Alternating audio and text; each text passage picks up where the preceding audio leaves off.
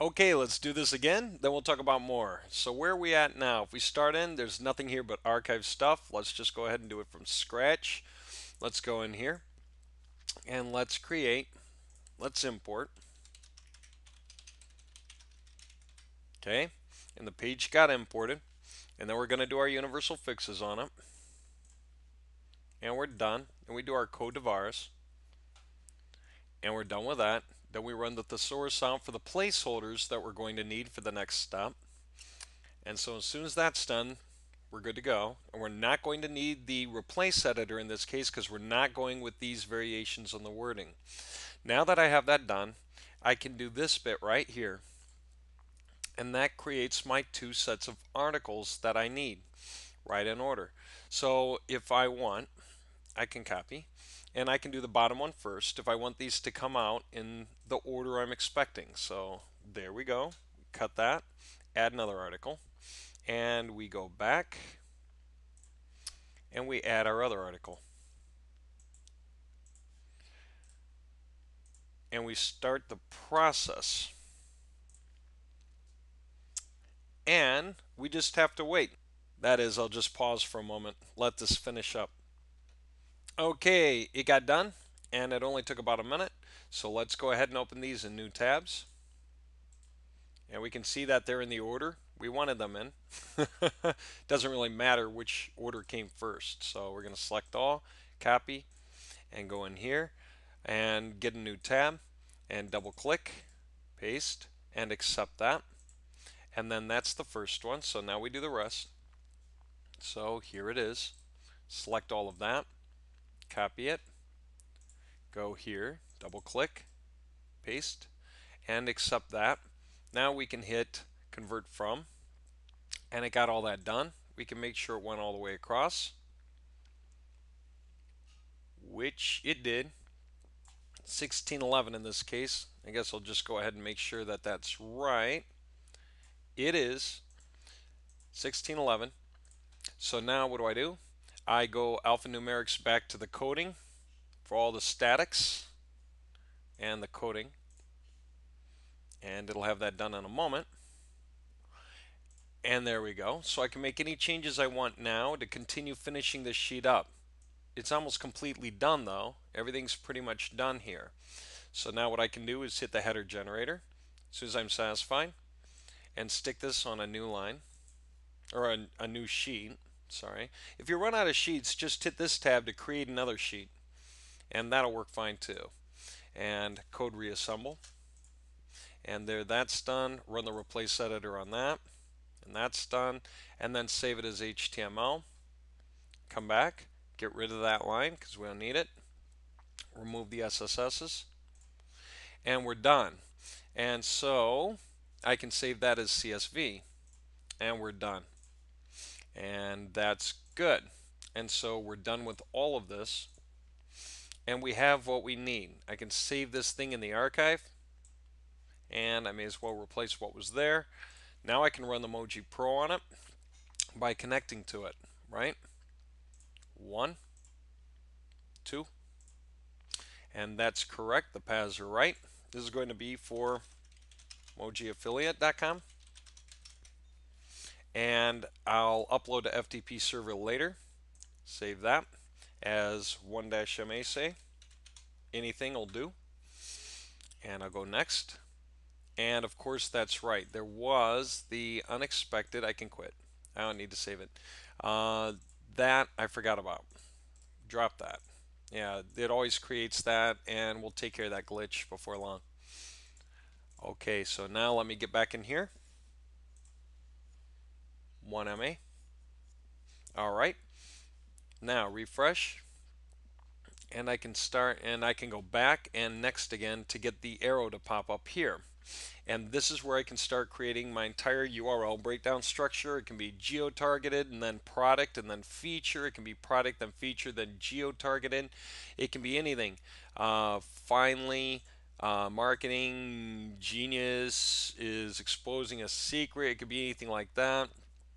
Um, um, instead of genius, let's take that out. Let's just say marketing video training system and we can continue with whatever we want. Fast, robust software, something like that.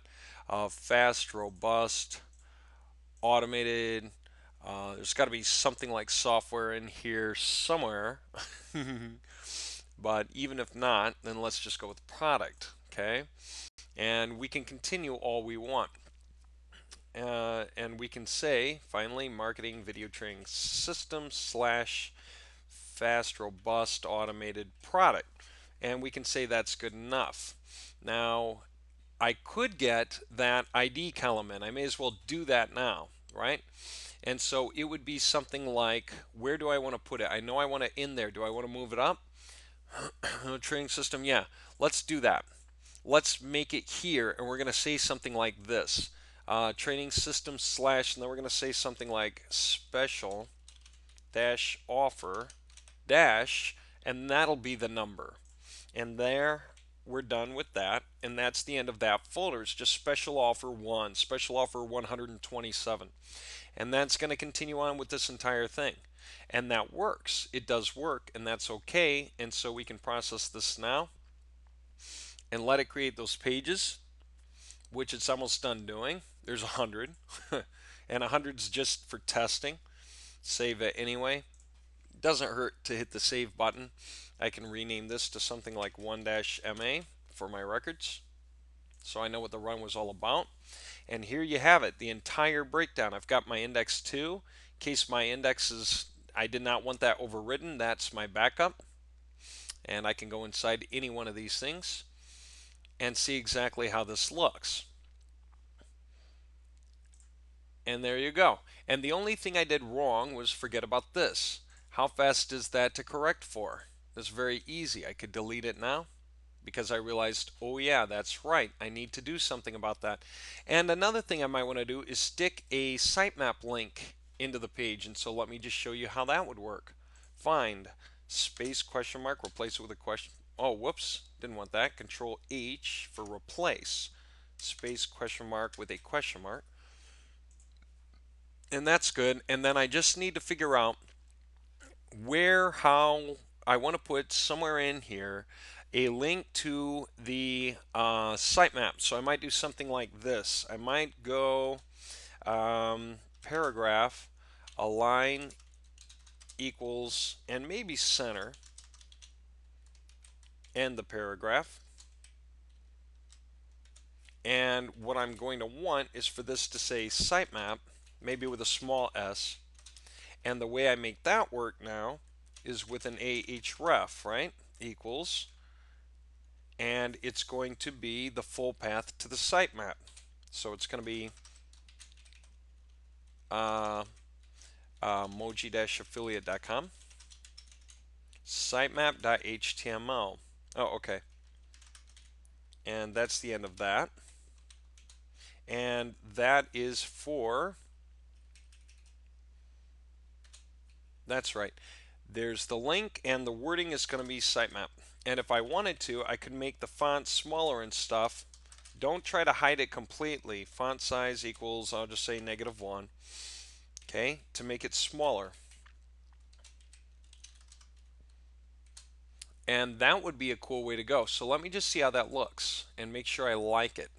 Okay, as long as it's reasonable, then I'm going to go with it. There it is. It's very small. It's at the bottom. It's there. No matter what, it's okay. I could change the colors, something like that. I just don't see a need to right now. And so I can leave it like that. I could make it white, you know, with a with a font color equals white command. So just to show you. Uh, there we have it. And font font size equals one, and we'll say color equals um, something like um, gray even. Let's see if that works. Okay. Again, I don't want to hide it. I want it to be visible. I just want it to be way out of the way. Whoops. There. That's that's pretty decent and that's okay and I can leave that be and that looks all right. And so now I can go ahead and run this thing out, right? And so let's do that. And this way, my question marks are corrected. And not only are my question marks corrected, okay, it's done, so I can rename it now. Rename 1-MA. My question marks are corrected, and not just that, there is a link to the sitemap on every single page. And so I am making sure that all my pages are ultimately connected to one another. The only other thing I need to do with it, and that's not there yet because we haven't uploaded anything. the only other thing I need to do with it, um, what did I want to say? Well, is upload it really. and so I can upload that thing. All right, so that is straight. I like the way it looks. I like the way it acts. And so I can set this thing up for FTP. How do you do that? Back.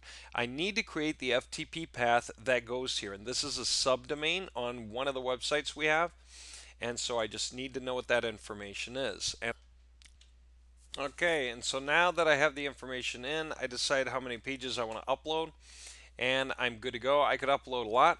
One thing is this works slowly because these only work on one thread. So this is going to actually upload slowly. By the way, I changed the var structure because I actually just grabbed another profile from earlier uh, to be able to actually capture the login information. Couldn't locate it right away, so I stole it from another profile.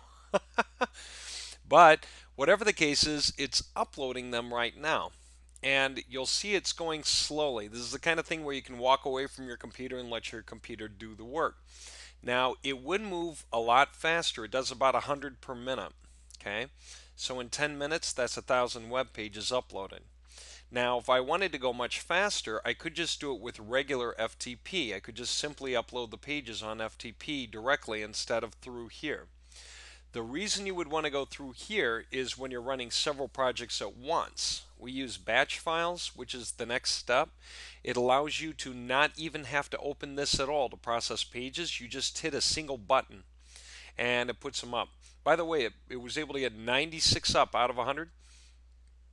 Not sure why, but it doesn't matter. And so they're up and we can go see what they look like really. Except one thing I know is that the index page got overwritten right? So if I were to connect to that particular spot and go down there were already pages there on the site. I see this is will have overwritten with one of the variables. And so when I look okay this is just a reminder about how to correct for something that was a problem. If I look refreshing. Okay. Yeah, industrial toughness software. I don't want that to be the main page of this site because it is unique content anyway. It's not from somebody else's website. If it was, then I would want to leave this alone because I don't want the wording to match someone else's website. But I know it's our wording. no one else had it. For that reason, whoops, I'm going to rename this to just a regular index.html.